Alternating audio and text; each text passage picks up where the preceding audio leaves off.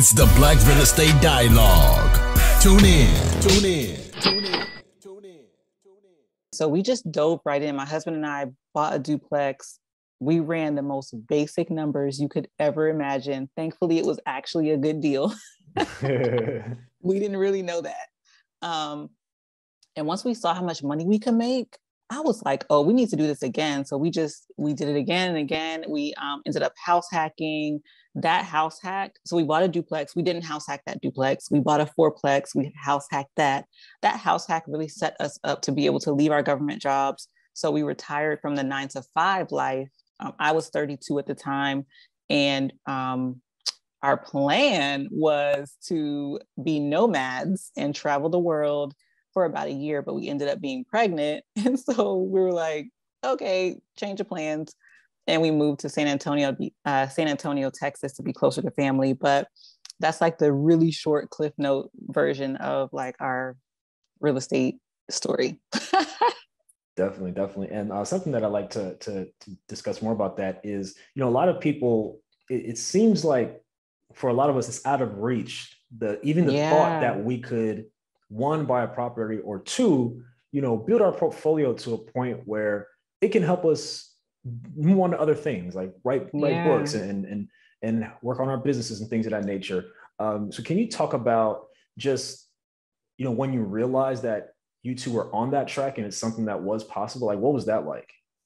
Man, once we realized that like buying a rental property was something we could do, it's like why didn't anybody tell us this? Why is this something that our families weren't talking about and encouraging us to do? And I think our generation, we were like fit into this, like we had to fit into a box, go to school, get a good job, work. Like that was the American dream.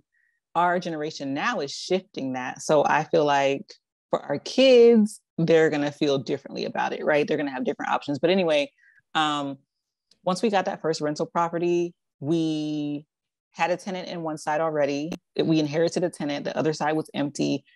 By a complete, in, in complete desperation, we ended up putting the property on Airbnb. We made, I think, four thousand dollars in a month, and we're like, what? We could replace our salaries. That was only on one side of the duplex. So this is right. Washington D.C. So it's a mm-hmm. huge tourist city.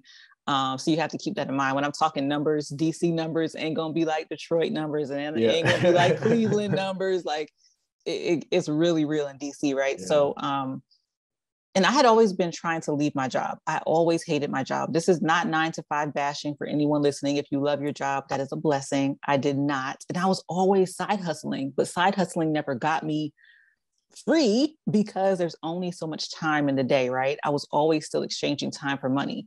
When I saw that money from the rental property, I'm like, oh, we can, like, I'm ready to go down. Like, I want to leave. Yeah. Um, and so we just decided to like really scale and and make the moves to leave. But i think that was it for us seeing that we could replace our salary so easily like replace our our monthly income so easily. Definitely definitely. And how did it feel like just that last day walking out? Like just knowing that you know we can move on i can i can move on to the next chapter of my life and and we can uh, just do other things. Like what what did that feel like? And was it hard to stay motivated in the last couple of weeks? It was. You know, okay, well, I'm gonna answer your first question first. I can't remember if the last time we talked was I still working or not. Probably not. I probably had just left. Yeah. But we actually probably could have left about three years before we did. And in some moments, it was frustrating because I was really ready to go. My husband's very patient. He's like, no, let's wait. Because as you know, like with real estate, there's ups and downs. There's mm-hmm. tenant, there's a vacancy, there's turnover, there's like repairs and stuff like that. So he's like, let's make sure we really have enough savings and we really know what we're doing so that when we do leave, we're not like strapped for cash and stuff mm-hmm. like that. Um, and so there were days at work when it felt good to know that like I don't have to be here. Like I'm here and y'all giving me a lot of crap today, but I could walk out right now. Like just to have that power felt really good. Um, and then I think what, what was your the other question?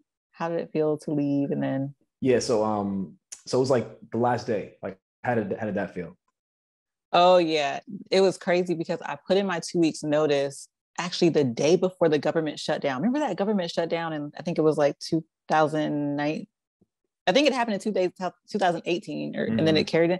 Anyway, it was like uh, 30 days the government was shut down. I, I didn't know it was going to happen. And I put my two weeks notice in, and the government ended up being shut down. So it didn't get processed. And so we were literally just like at home. Wow. um, and so it got processed like once the government opened back up. And then I actually, um, that was the beginning of 2019. So I actually left in February of 2019 after that long um, government shutdown. It was crazy.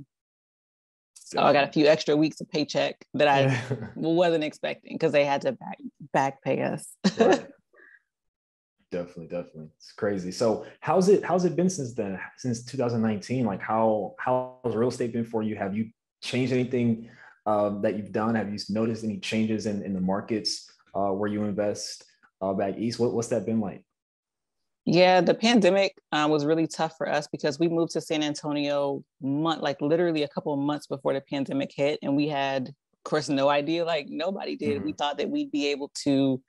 Our plan was really to like go back and forth freely between here and DC and like check on our properties and stuff. My husband's a very like hands-on kind of person. We self-manage, so. Mm-hmm. um but when we we had a small baby like a brand new baby uh, it didn't feel safe to travel and so it, we went like almost a year without even laying eyes on our properties which is not normal for us and um, we ended up selling two properties which honestly like at first I didn't really want to talk about it. This is like the first time I'm actually talking about it because mm-hmm. I feel like I had to uphold this this idea of like never sell like yeah. this and that like you shouldn't sell but it was just the right thing for us because we weren't able to like get there as much as we could those two properties were a little more high maintenance um and it was a seller's market and we got paid very well for them i'm sure it was crazy so um and so now we're like shifting our focus to invest closer to home. We're here in San Antonio now for the foreseeable future. Um, and so that was the good thing though about the pandemic is that none of our tenants were late because of it. None of our tenants were not paying rent because of it. I know a lot of landlords had tenants that weren't paying or paying mm-hmm. late or all that kind of stuff. We didn't have that problem at all. We had Section 8 tenants, which that money was coming no matter what.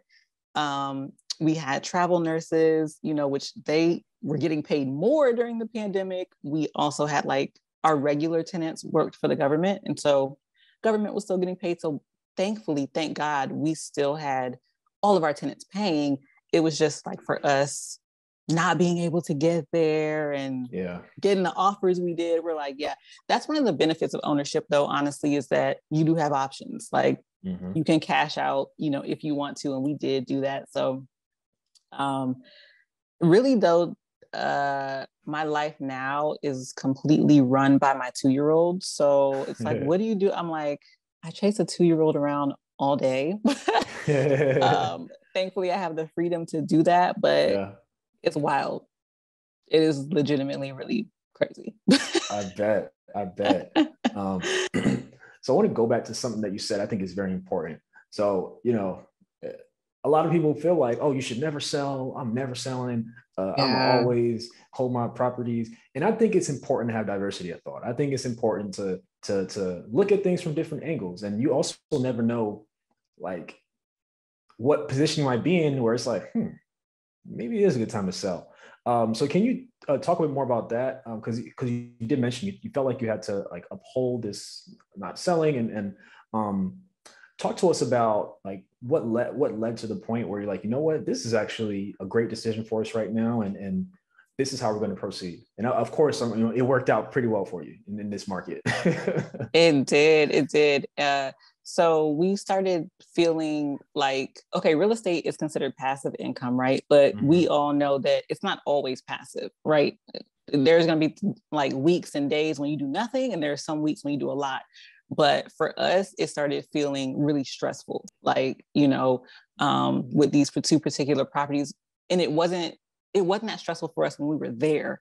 And so, because I think you have properties out of state, right? Mm-hmm. Like that's where your whole portfolio is out of state. Yeah. For some properties, for some portfolios, for some market situations, it works. And for us, for these two, we're just like, oh, I don't know, we just didn't feel, it didn't feel as passive as it should have been.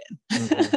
Yeah. so we're like, let's just let it go. Like, um, so that's how we ended up like coming to that decision when it wasn't as passive as we wanted it to feel. And we felt like we could cash out and do other things and kind of live a lifestyle that we preferred.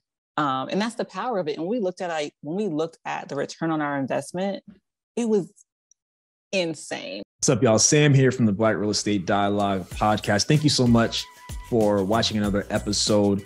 Definitely take a moment to subscribe. Make sure you like this video. Also, visit our website, blackrealestatedialogue.com, and follow on Instagram at Black Real Estate Dialogue.